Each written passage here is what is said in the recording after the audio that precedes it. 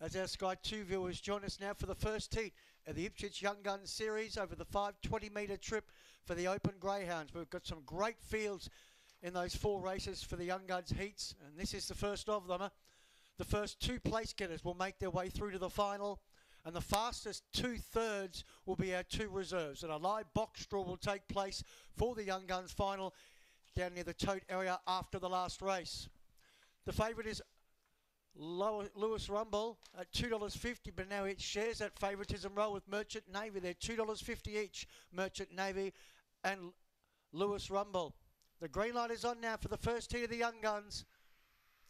Two and six share favouritism. We're set to go. And away.